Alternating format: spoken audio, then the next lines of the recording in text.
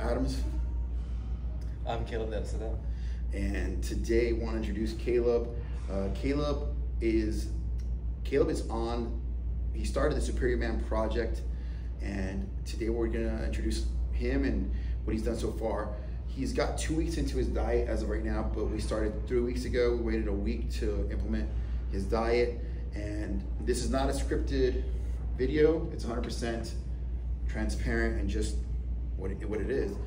Um, so, Caleb, what have you experienced since day one to now on internally through starting the Superior Man Project? Uh, I want to say I gained a little more confidence in Mhm. what I'm doing. Mhm. I feel that I'm a little more focused in at least my diet Okay. and being able to see like the workouts that you provide Mhm. helps me out a lot. Okay. The workouts. What have you noticed about the diet itself? So it's the diet's helping you be focused. What is your feedback on the diet? Like, is it super challenging, or just what have you noticed? What have you noticed about the diet? Um, a little bit challenging to get used to eating like the same thing every day, Mhm. but uh, once you just think of it as fuel for your body and how it's going to help you along the like down the line, I Mhm. can get through it. What What are you missing? Like, like in other words, you say the challenge was eating the same thing every day. Um, what do you? We doing some free free meals, like some cheat meals, because you're wearing what's called preseason, which is the. It's not a hardcore diet yet, right? Um, what What do you feel like? You felt like you would eat whenever you wanted, or what? What, what was that like, or what? Before this diet, were you, you were eating whenever you wanted, or what? Yeah, I would eat like freaking poke bowls like every other day, and I eat like sandwiches and you know other other other stuff like especially Coke Zeros. Oh yeah. Yeah, but ever Are you missing those? Uh, I think I'm okay with like you know energy drinks and sparkling waters. They fill the void with uh, just fizzy stuff. It's mainly what I wanted. You like the fizzy thing. I love fizz. Fair enough. Fair enough. And so the poke bowls, but you know when you look, we've we did some measurements on you with just one week on the diet, and we you saw he had lost like a pound and a half of fat, right? Yeah. And your mom mentioned to you like she noticed. Yeah, she took a picture of like me a month ago, and I had like a bigger big face. Yeah. So uh, I guess I didn't really look at myself or notice it because you know I'm in the process of it. Yeah. So Yeah. How serious are you about achieving? You know our goal. What do, what do, what do we get you that you need to burn? How many pounds of fat? Is it 15? Is it 20 to get fit? When we calculated, what was it? Do you remember? I believe it was like 15. Is it 15 or 30? I don't know. I forget. Man, I forgot it. Okay, so let's just say this. Let's say, you know, how serious are you about, like, do you want that? Like, obviously everybody, oh, I want to be in better shape. Like, yeah, okay, you want to be in better shape, but, like, how much do you want to be in better shape? Well, I've been fat most of my life. I've been I didn't know that, by the way. I don't think I knew that. really That you've been fat most of your life. I didn't know that you had saw that about yourself. uh, ever since I was like middle school. Yeah. Okay. I've been overweight, and I just kind of like didn't care at the time. Mhm. But now that I'm getting older, I'm noticing like I want to be fit at least, you know, to live a little, little bit longer Mhm. than, than uh, mostly would. Especially looking at my family. My family has a mixture of you know diseases and hard stuff. Like I don't want to deal with that. Right. So, Okay, and that's one of the reasons we connected because I said that my dad passed away diabetically and diabetic complications, and life's kind of a bitch in that respect, right? Like people you love can sometimes pass away because they didn't take care of themselves. It's kind of sad. Well, 100% sad? Um, you know, the Superior the Superior Man Project is some. What do, what do you recall about me telling you about the Superior Man Project? Because I said that it was a it was kind of a lengthy explanation. This is a it's like it's not just getting sh- in shape. But there's more to it, right? There was like five principles you were talking about. I remember. Okay, what, It was like the body, the mind, um, relationships, and meditation. Yeah. And then the last one, I the last one was. Something like that. Well, I think so. There was four, I think, if we're counting it correctly. But, Okay. but, but that's why I was like, maybe there was five. You know, like, um, what you? What was your first impression when I said, okay, look, because we met at the front desk and you were thinking about getting a trainer, and I said, okay, look, I've been working on something that I think is the culmination of my life's work as a coach, right? Um, what do you recall about me telling you about the Superior Man Project? What do you recall about it? Like that day. I know there's principles, but that day, what did you, you know, what did you feel I was telling you it was about? Well, I feel like it was a little bit more than just losing weight. It was more, you know, like how to be a better person mm-hmm. in, in, all in all sense of being. Um, like nowadays, it's kind of rare to find some, you know, men that are, you know, uh, I don't want to sound rude, like superior. I just mean like some people that are able to portray themselves as like what's a good word to say this like dependable dependable is a good that's not that's not controversial no i'm not saying it's i'm saying like you know some, some guys they could care less but i want to be the kind of guy that can be counted on. Okay. Yeah. okay. No i mean it makes complete sense. Um, the project or this like as far as i've seen being a better man like when I when I told you like, hey, look, I, about ten years ago, there was this inner work that I started doing. Um, one of the books that at that time was The Superior Man, The Way of the Superior Man. And as I thought, what do I name this project? It was a, kind of like a full circle thing, saying, kind of seeing like, it's this energy of this, saying like this, these standards, these, these disciplines.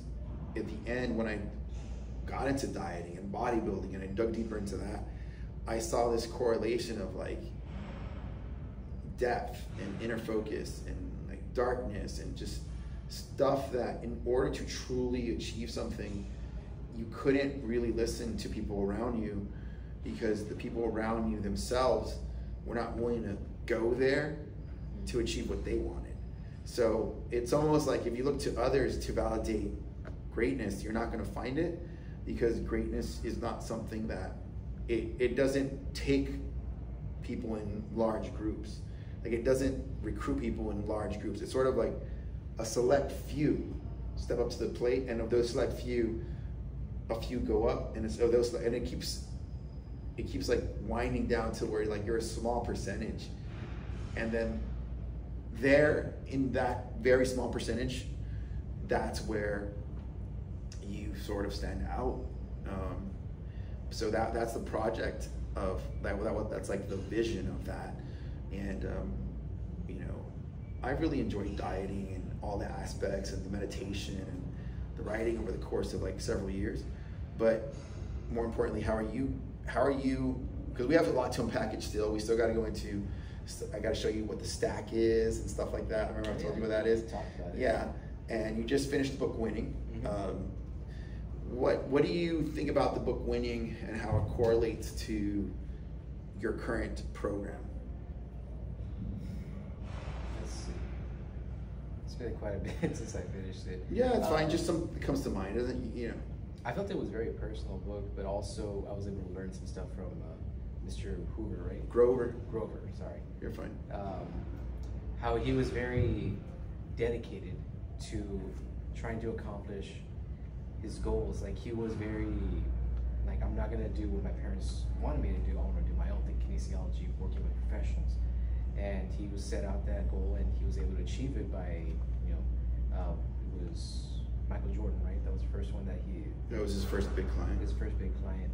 So Michael Jordan helped him out. He helped Michael out. He was able to learn from Michael how he wanted winning above everything else. He was willing to like not I, I don't want to say belittle his fellow teammates at all, but kind of push them to his standards. So he was able to learn from that, and that was pretty inspiring because I'm not really much of a basketball guy. I'm not really much of a sports guy at all. Mm-hmm. But seeing that other people are willing to go that length just to achieve their goals, I, I kind of want to try that. Like I want, I want to do that too. Yeah, like in other words, it's an invitation to go deep within yourself. Yeah. Right. Yeah. So that's definitely a big part of the program. Um, what about writing? And that's one aspect we haven't gone into. Writing is part of this, journaling, um, reading books every day, like even if it's five, ten minutes of writing. What have you experienced in the writing down? Well, some days I'm at, you know, I work full time. So, sure. And uh, people I work with, some of them are not very fun to work with. Mhm. So they kind of like are my fuel to you know my dark my darker side to. Like they tell you stuff, trigger you. oh yeah, absolutely. Like what's what's an example of if you don't mind sharing? If you mind sharing, I, we didn't prepare for this. This is very trans. Uh, Like what's what's a, what, what's one thing that I get? Oh yeah, that would trigger me too. Like Uh, they well, I feel like I'm a decently average intellect. Yeah. But they always belittle me on my on like uh, call me. I don't want to say it out loud, but you know, stupid, an idiot. Oh like that kind of stuff. Yeah, that kind of stuff. And is it meant like ah stupid or is it like no I want No, to dig? it's it's pretty belittling. and- Okay. And uh, weight and other stuff that I, I don't really want to get into. Yeah. But yeah, that, that kind of stuff it does trigger me a bit. And I mean, like, It's, it's it's interesting how it can be used as fuel, yeah, right? yeah. Like it's interesting. Like my dad passed away. It's fuel. To, it's sometimes when it's like, dude, and then the realness of it is sometimes like, dude, and sometimes I'm like, even this morning I wake up I'm like, Dad, I'm sorry. And it's just like my dad. Where is he? He's listening. I don't know. I'm like, Dad, I'm sorry, like for any mistake I've done or where I've let you down. Or it seemed it, again, it could seem trivial, but it's like I feel like it's like, but you know, it's that desire to want to keep improving, and sometimes. In, as the world gets complex, whether it's political stress or whether economic stress or Uh, personal stress in your personal relationships or you yourself, you know, it sometimes takes that pain or that like wound to dig deep and just say fuck everything else. Because i think when you're wounded like when someone when you're fucking hurt like you're like dude i'm fucking hurt. I think in that in those moments everything falls away and you're like fuck all that. I'm not gonna let this shit I- does that make some sense like Yeah. it's almost like like that all other complaints you're just like nah bro nah you get me like you're just like all bets are off it- and you're it just like makes you want to prove them wrong. or even just prove yourself it's a combination like that or prove people prove prove your worthiness in this Yeah. life or something Yeah. like you're just like nah bro i ain't going out like that like to what who's who's even paying attention nobody but it's like i don't know i'll Yeah. You, do you know what i mean? Yeah, I get you. and that and and, and it's i think like so so i think that when when this program is being put together it's like taking all of my personal work and, and, and the writing and it's like i think when some it, i think what separates those that are successful in, in dieting and, and training it's like and we were, i remember when you told me that sometimes i can get pretty dark thoughts. I remember i was like good and you were like you kind of were like taken aback like what? Yeah. and it's like because the reality it is that as you dig deeper into a diet and you dig deeper into like the, the cardio and you're just like dude i just do not want to do this today. I was like so is this where you quit? Is this where you're out? You know all that work and he, and he, it's like well this is and they're like what do you mean well this is where other people quit? This is where this is where they bounce. Do you, you get me? Like it's it's that moment where it's like life just pushes you right there to the edge where you're just like once again is this where you fold? And i think that that in those moments writing books meditation like to think clearly enough to go like nah like i'm just tripping. I'm tripping dude. Like and i think that, that you could say nah, that's not it. I was like that's the game bro. Like sometimes it's your own mind defeating you your own mind that's gonna be like and, and uh, like I say, well, let's say you're gonna get in shape, you'll be fit, and you're like, that's what I want. And it's like, and then even then, what's that you're gonna find like that next stage is like your mind's messing with you. Your mind's messing with you. Like for me, just to kind of bring this into like a meta situation, you're like, for me, it's not getting in shape because I've been in shape and I'm in shape, and it's okay. Now it's like, okay, we'll get back in better shape again. Okay, yeah, but even more importantly, like for me, my win is helping you get in shape and bringing you to another level, and then helping others because that's my win now.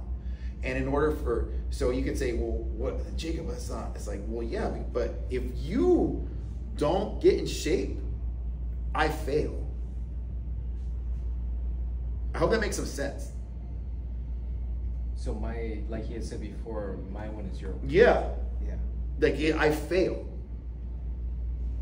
Okay. Do you understand? Like this is a two man team kind of thing. it's 100% what it is. It always has been, but it's just like now we're making it so the content Okay. is like a type of it, it it's it's it's both like this it's a it's a spiritual process where it's like like bro I, I don't even know like who's gonna watch this but it, it's it's more like to move into that next step like how do you scale it's like well I know I can help people I know we're gonna get you there so it's I'm already preparing for the next level how, how, you can't how does that look like I don't know but I just know this has to happen well how where's the manual I don't know I just know it I just know that this has to happen to get there. Well, Jacob, no one's gonna watch it. Doesn't matter, bro. I know this video has to be made to get there. Uh, it's, it's, it's what I'm saying. Like it's weird. It's it's like, but I think I think that's where that's where people quit, where they don't, where they like, I don't know, I don't know, I don't know what to do, I don't know, and it's like, but do you know what to do next? Deepen yourself. Do you know what to do next? Yeah, okay, then do that. Like, and, and sometimes it's like well, shit, is that simple? It's like, motherfucker, that's why people quit because they didn't do that next one. They didn't do that next thing.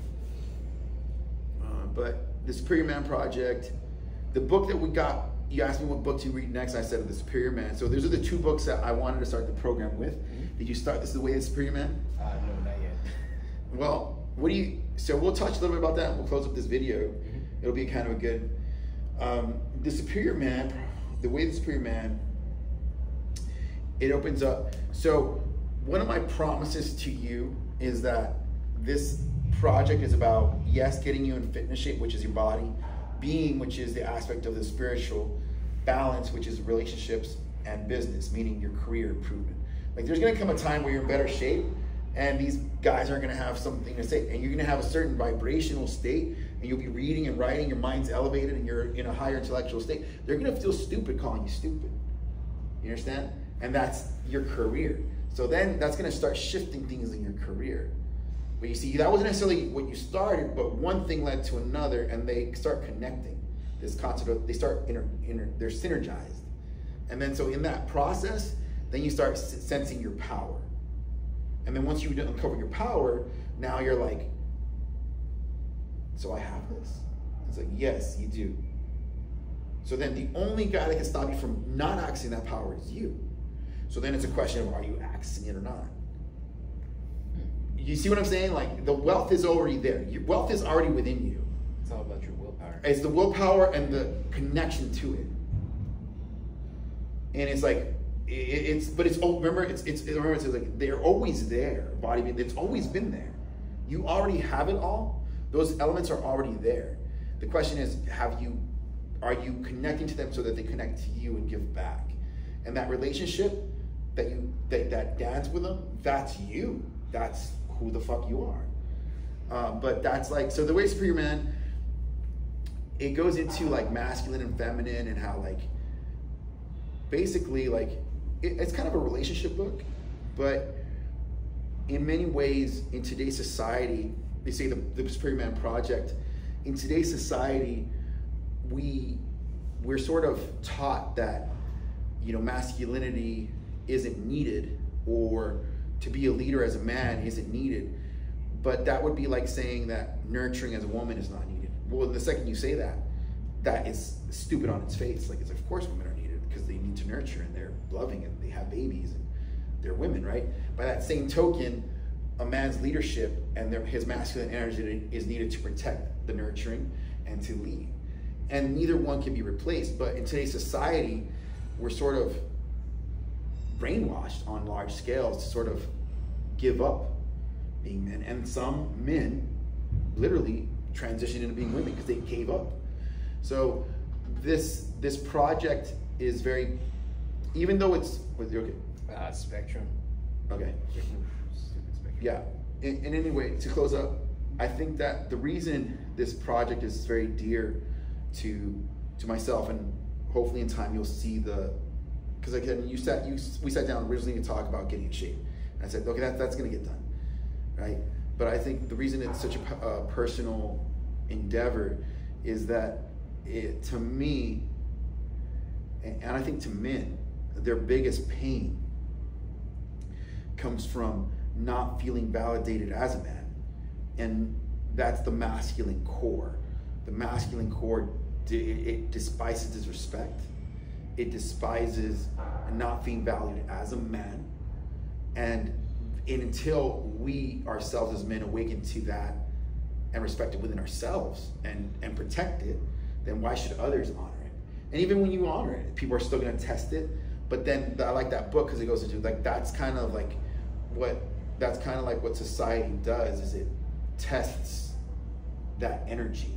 And then when you kind of take a step back and reflect on that, it's like, well, then does that mean that every test I've ever uh, faced in ways a test of masculinity? Is like, yeah, in a way it is. And like whether it's women, whether it's the diet, it's always testing that masculine core, that that integrity, that alignment. And so, um, again, these things, like I think that again, most people that talk to a trainer, they're gonna want the like, Just the give me the diet. It's like, well, bro, you can't handle a diet because you're not connected to like yourself. That's why people fail on a diet because like you have no connection to your power. So the second something comes around like a donut, you're like, oh, it defeated me. Really, a donut defeated you? Do you get me? Like that's it. That's all it took. You're done. Yeah. And so, so there was never a, there was never like a, a moment where that person knew like on some level this is a battle, this is a war between what you say you want and what you'll achieve, and, and that takes a certain level of ferocity and, and aggression and, and commitment and like complete power.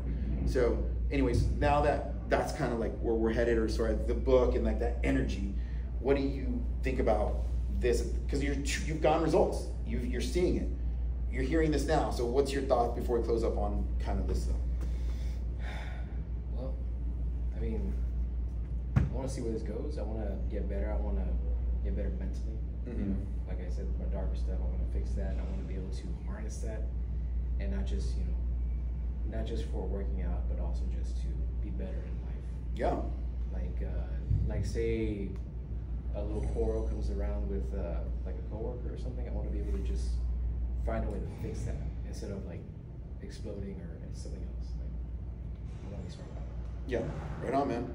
Looking forward to your growth. All right. This is Caleb De La Cerda. I'm Jacob Adams. We'll see you on the next one. I'm looking forward to your success.